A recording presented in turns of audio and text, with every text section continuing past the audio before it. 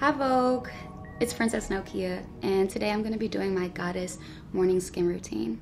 This isn't something that I do every day, but this is probably something that I do like weekly just to preserve my skin, make sure that I'm always doing and adding things to my regimen that prevent aging and prevent um, dry or like lackluster skin. So let's start the routine. I'm going to use my Mario Badescu Seaweed Cleansing Soap just a little bit. A lot of people go to sleep with their makeup still on or halfway on or not taken off properly. And that is probably like the biggest mistake you can make with skincare. So you always have to make sure that the dirt in your pores are properly removed. I don't care if I've been out till like seven in the morning. You best believe I'm taking this makeup off. Okay, so now my skin is limpia, honey. My skin is clean. After like a really crazy night, I wake up with a puffy face. My face look like puffer fish. Like. So usually when I wake up, I take ice and I depuff my skin. And I specifically go under my eyes and on my eyelids because that's where I get puffy the most. So I've got my Aztec face mask clay. This is for deep pore cleansing and I use a paintbrush to distribute it. And I'm gonna take a little bit of this powder. You, you really don't need a lot. You just take like a little bit. Add a little water. Some people add apple cider vinegar. You mix it up. I love doing routines like this, like if it's cooking or doing my makeup. It makes me feel closer to you know, myself as a person, as a woman, and I'm a Caribbean person, so anything with a bowl and a spatula, you can pretty much find me doing. You make a little paste, you know, you put a little magic into it. So before that, you gotta bust one of these out. Honey, you're doing yourself a service. Collagen um, helps uh, maintain and preserve the elasticity in your face. The more collagen, the better. There is such a thing as too much collagen. We won't get into that. Honey, you will catch me on a plane with these, on a train, on a bus. I've been in first class with these on like, yes, I will have a wine. And then I let this dry for about 15 minutes. If I'm at home, I'll put this on and I usually will probably clean my house, listen to salsa music, probably cook a nice healthy vegan Caribbean meal. That's like my me time. Like Saturday, wake up, play salsa, clean the whole house, you know, I love to dance while I clean. It makes me feel happy. It makes me feel good. And I got my little broom and I'm like, dum, dum, dum, dum, dum. Azúcar, all of that. So we're gonna peel them off. You see it's dried. The value of a woman is not based on her outward appearance. So if you have acne, if you have lines, girl, I got them too. Um, like, embrace your lines, embrace the wrinkles, you know, embrace the discoloration because what else are you gonna do? You're gonna keep hiding it? You can't. I like to always refresh myself and my face with my sprays and I happen to like the Mario Badescu. Um, this is the lavender and chamomile and this is the rose and aloe.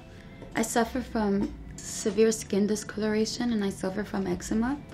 So my skin gets really patchy in the winter, especially on my body. I'm very lucky, thank Goddess and Beyonce, that I haven't really had it on my face. Um, but I have to spray this on my face and around my body. Um, so I don't scratch. So my body is relieved by chamomile and lavender and aloe, which are natural plants and herbs that aid in discoloration and inflammation. So I do that and then I do like a nice little rose one. Mm, the rose helps mm, make me feel all delicious and juicy and fertile. So a big part of my beauty routine is um, steaming my face. If I'm especially drunk or hungover or I really need to snap my face back into cuteness, I get, um, I get one of these steamers and I hold it to my face all your stress, maybe all the bad food that you've eaten during that week, it will all come out. So um, if you're Caribbean or Puerto Rican, you probably know Cafe Bustelo really well. It's an espresso coffee and it's a really dark roast. And your grandma probably makes it in the morning for you. And in my country, in Puerto Rico, it's um, considered a very neighborly thing to drop by people's homes and always offer or have a cup of cafe. So, um, coffee is an integral part of the Caribbean and of the islands and of my culture, and I take this into my beauty routine. So, I'm gonna just use a little bit. The grains in the espresso are, are a really great exfoliant for my skin um, and I'm gonna use the special uh, jojoba oil that I got from Morocco. Just add a little bit. So you don't wanna overdo it with oil so it's not too abrasive and then you add a little water um, to the mix to neutralize the oil so it's not as harsh. All this, and I'm gonna distribute it around my skin.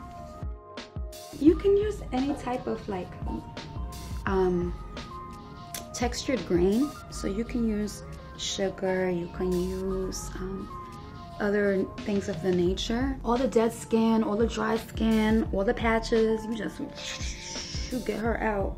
But not too hard, because then you're gonna make yourself red and nobody needs that. That neck is really important. You start catching that gobble gobble girl and it's over for you. I do this before any like big makeup application because you don't want cakey, dried up skin under that fat beat. The queens will read you.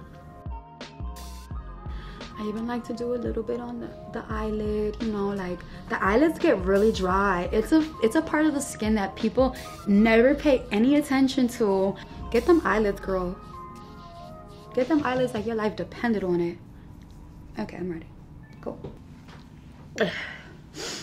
Okay, now I've washed the scrub off my face. And then I just finish it up with my daily moisturizer, which is the Mario Badescu Buttermilk Moisturizer Herbal Hydrating Serum. And that is my skin regimen. I wasn't allowed to wear makeup or nail polish growing up, so I actually didn't start um, experimenting with like good makeup until I was about 25 five and I have really learned and studied how to do my makeup properly. So I'm gonna add a little primer to my face just in case I want to put any type of product around it. I like using the e.l.f. Hydrating Face Primer. There's a lot of primers on the market, but um, this one's my favorite. It doesn't have that like off-white color that kind of looks just a little weird to me sometimes. Usually when I wake up and put on my makeup um, for the day, I don't like to do foundation because I feel like that should be saved for nighttime or for shows. I really like just like having a natural face, so that's cute. And I usually take a shade that is three or four shades lighter than myself um, because I like to get like a really crisp, like under eye fresh look. And be very careful how you do the rest of your makeup because if you got too much concealer under your eye and you get a flash photo, honey, you're gonna look like Casper. I know because I have been there. Right now I'm using the Becca Shimmering Skin Perfector Liquid. Um, it was recommended to me by a sweet friend who does makeup. And I said, listen, girl, I just want to have like this nice bronzy golden glow every day. I don't want to look too done up. I like looking natural, like looking like myself. Um, and I just want to look like juicy, fertile, and fab. That's all. So I take this and I come around here. Just make sure that it's really blended in. Get into the right light. Try to see your makeup in natural lighting, bathroom lighting, fluorescent lighting, and on your phone. Because different lightings, like this, it looks good to me now, but I could go into a different light and it could look absolutely mad. So just make sure that you blend perfectly, honey. Blend until you can't blend no more. Then I've been experimenting with my eyebrows. I know that I've had this ridiculous relationship with the history of my eyebrow upkeep. So as of the last year, I've been having some good brows. I can't lie. I've learned how to do my brows really good. I have been really inspired by this like brushed up natural brow look. Use Anastasia's uh, soft brown brow pomade and I just come in with an angle brush very lightly and I just I fill in what's not there Boom, gorgeous and natural. You don't need nothing else. So I like coming in with a little glossy blush. So I like using this Flesh red colored gloss pot and it's good for your cheeks and your eyes. I do like a little nice highlighter.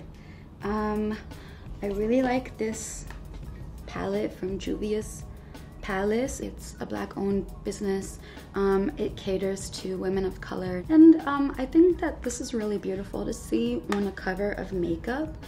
So I'm gonna come in with a little contour just to really give me um, a gorgeous cheekbone. So I come in, you start from the top and then come down just a little bit. And then you blend it out in your face. So you just real quick, give you a little touch of color, you know, you know. I've actually been preparing for my new album. So I've been doing a lot of working with my team for the last few months and that requires a lot of running around New York City and a lot of a lot of meetings and a lot of meeting with different people. And I've always had a problem with tardiness and you know, that's not nice no matter how famous you are. So it's always important for me to just have a quick beauty routine, just really quickly so that I can look cute, I can look presentable, I can look good enough, but I'm not taking too much time on myself and making people wait or just making my morning longer than it should be. So I take this little highlight and I sculpt my face just a little bit. Okay, I've done almost everything. I'm gonna draw on my famous freckles. I have a lot of freckles on my nose, on the outskirts of my cheeks. What I do is I come in with um, a regular brown pencil um, and I like to highlight my natural freckles and just make them a little bit more visible. There's so many great beauty girls and makeup artists and regular people that they do like a full face, they do light, they do different colors. People use like up to four colors for their freckles, so there's like an actual like range of color. I'm kind of basic, so I'm just using this natural brown. They're probably gonna get rubbed off within a few hours, so who cares anyway? It's like a constellation on your face. I love a nice, gorgeous, full brown lip. I'm still trying to figure out how to keep my, eye, my lip liner on all day. You women are witches. I don't know how this stays on all day. Honey, I'll talk and it's gone. Uh, I'm just do a light line. So I'm gonna naturally blend it and it's gonna just look like all one shade. And I got this nice nude. And I end it with some lip gloss. So then I get my little tub of gel. Listen, if you one of the girls, you know about Eco Gel. You know about the Eco Styler Gel. So you get your gel, you get your edge brush. Sold exclusively at beauty supplies around the hood everywhere. Um, and I come in and just do a little edge, a little edge control. Sometimes my edges be playing games with me. I can't get them right. So I got my little edges now. And this is my my look. I've done my face, I've done my makeup. Bye Vogue.